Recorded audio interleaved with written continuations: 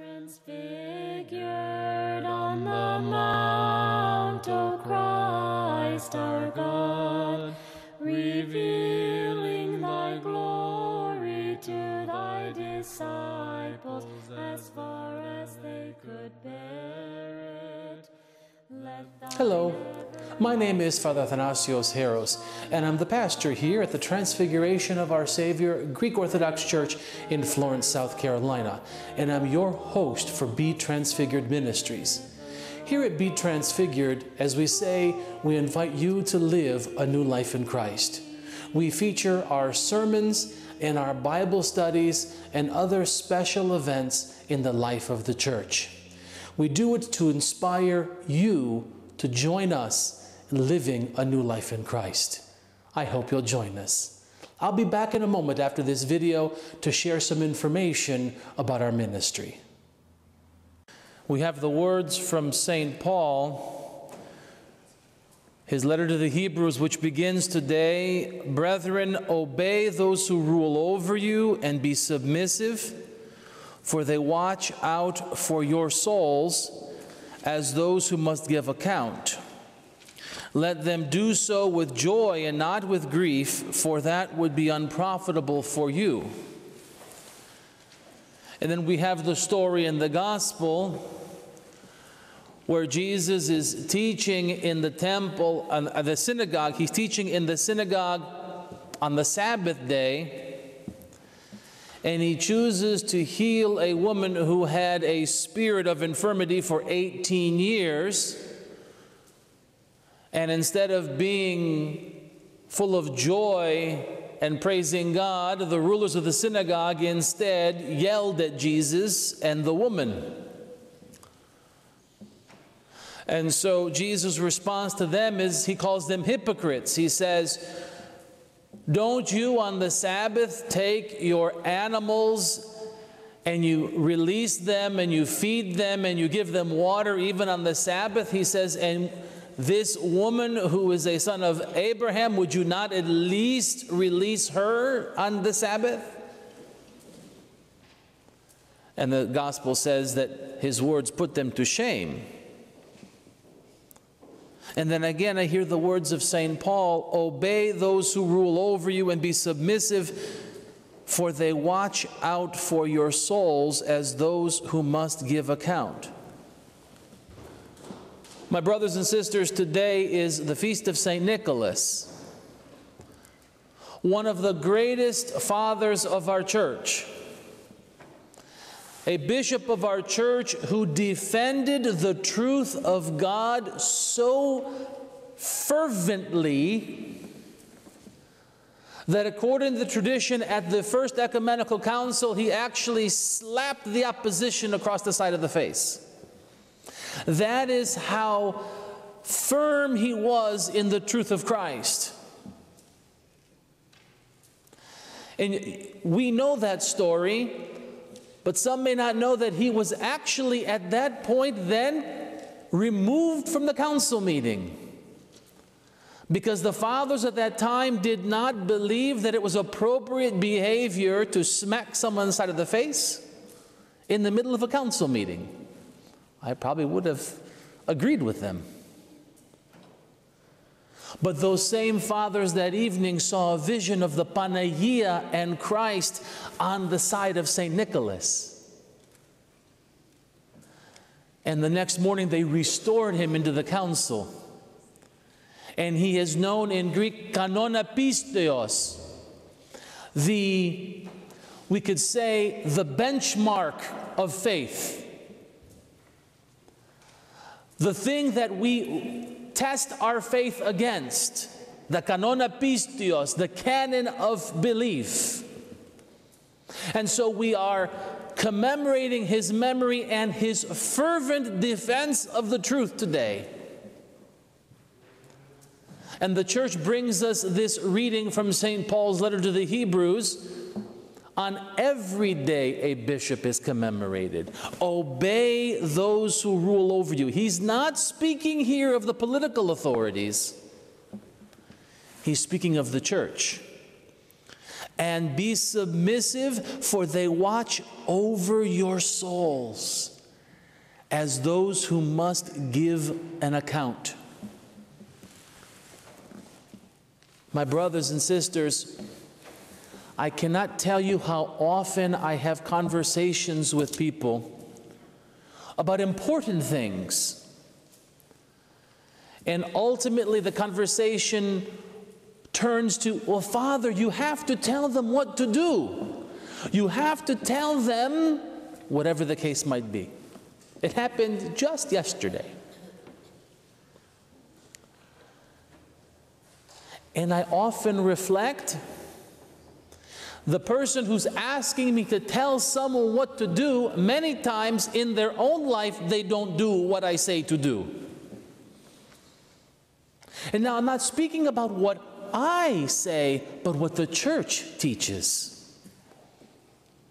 We are in the Christmas fast. And it is a season in our society that has become so overscheduled, so chaotic with the holiday parties at work, the holiday parties at school, the theater productions, the civic productions, the lighting of the Christmas tree downtown. And of course, there's the shopping. We have to go shopping. We have to get all of these presents. Day in and day out in this month of December, we find ourselves panicking that we're not going to have enough time to get everything done for Christmas. And then we even use the excuse, I can't come to church because I'm just too busy right now getting everything ready for Christmas. And yet the church tells us fast, increase your prayers, increase your reading of scriptures. Take care of the poor. Remember that the poor are more important than yourself. And so we are faced, my brothers and sisters, right here in 2015 with a choice. We can obey the church and spend the next couple, three weeks preparing for Christmas in the Orthodox way, in fasting and in prayers and in caring for the poor. Or we could listen to society and what's important. We can allow the society to tell us how to live our life. And I know that many of us will get so exhausted in these next three weeks that by the time Christmas comes, we're too tired to celebrate. By the time Christmas comes, we're done with Christmas.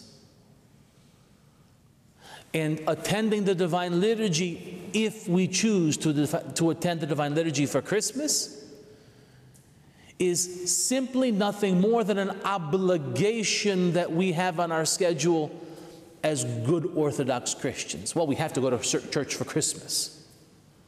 We go home, we have our feast. The next morning, we wake up with our presents, and that afternoon, the tree is out at the curb already waiting for the garbage. That's not obeying the church, my brothers and sisters. If we heed the advice of St. Paul today, then following the church, obeying the church, knowing that the church is accountable to God. When the church gives us an instruction on how to live, and we are obedient to the church, that always is blessed by God. If the church has led us astray, we, the priests, the bishops, we are the ones who are accountable to God for leading people one direction or another. And this is the urging of St. Paul. Think about the other people in our life that we put our trust in. We go to the doctor. Most of us, although not all of us, most of us will go to the doctor and he will give us advice based on his education and on his training and on his personal experience. And then we will take that advice and we walk out of the door with a choice. If I want to be better physically, if I want to have better health, I will listen to the doctor. And some of us, and you know who you are, will say, Doctors don't know what they're doing. Thank you for the advice, doctor. I now have to pay you the bill, but I know better. Me, you know, the dishwasher, I know what I'm doing, doc. And I know some of us live that way. But when we put it in that context, it almost sounds ridiculous, doesn't it? It almost sounds ridiculous to go to the doctor to receive the advice from the trained physicians, from those who, in their own experience, not just their own personal experience, but the experience of hundreds of physicians and doctors and researchers across the centuries have given them all of these wonderful opportunities for healing we would think it was ridiculous if we did not obey the doctors. The doctors who do they care about our soul or do they care more about their pocketbooks? And then there's the church with 2,000 years of experience.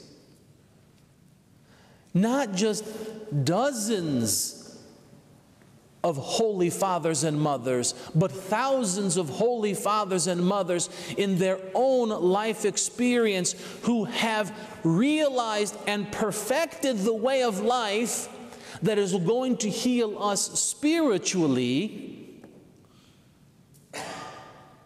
And yet, we'd rather listen to society. We'd rather listen to the guy on the street corner tell us how many flat screen TVs we need for our house. We would rather listen to society rather than the church. But society, my brothers and sisters, does not answer to God for our souls. They are not worrying about our souls. The society is worried only about their own agenda, the economy, and their own wealth. And then it brings me back to the gospel again today.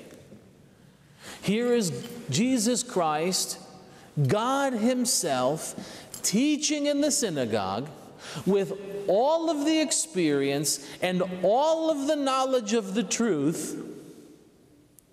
And He turns to this woman and He heals this woman. And what is their response? Shame on you. What's our reaction going to be? We have a choice today. Will we start to obey the church, knowing that the church has our soul in mind and nothing else? Will we start to live the life of the church in these few weeks to prepare for Christmas? Or will we walk out these doors and everyone has the free choice to do whatever we want? Are we going to walk right out these doors and put our trust in what is important by what society is teaching us instead of the church? It's your choice today, my brothers and sisters, no one else's. You can either call the church crazy, you can either accuse the church of not knowing what it's talking about, as the leaders did in the synagogue when they confronted Christ,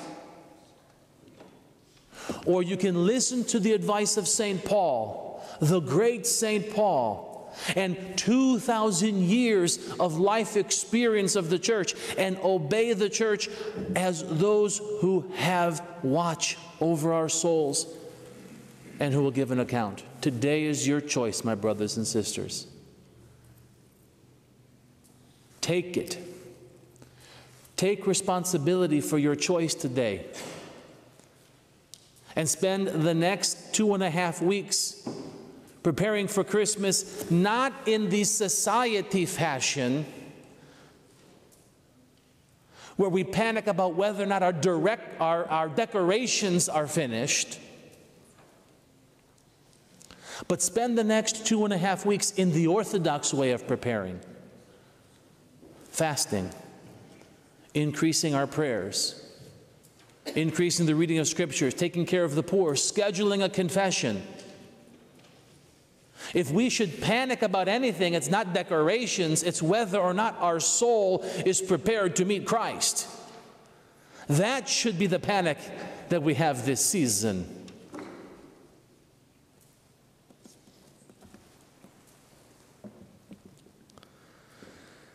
And then St. Paul finishes with this exhortation to the people. He says, Pray for us. For we are confident that we have a good conscience in all things, desiring to live honorably. Now, listen to this. He says, But I especially urge you to do this obey your rulers as those who watch over our souls. Glory to God for all things. Well, I'm back. And I hope this video was an inspiration to you. I hope it helps you live a new life in Christ. Please share our message of hope with your friends and family and invite others to live a new life in Christ. Find more information about Be Transfigured Ministries by joining us on our website at liveanewlifeinchrist.org. You can also find many of our videos on the Orthodox Christian Network, our partners at myocn.net. As we say it, Be Transfigured, until next week, God bless you, and don't forget to live a new life in Christ. Be Transfigured is a production of the Transfiguration of Our Savior Greek Orthodox Church in Florence, South Carolina, and presented by the Orthodox Christian Network. Contributions in support of this ministry may be sent to Be Transfigured, 2990 South Cashua Drive, Florence, South Carolina 29501, or online at our website at www.liveanewlifeinchrist.org.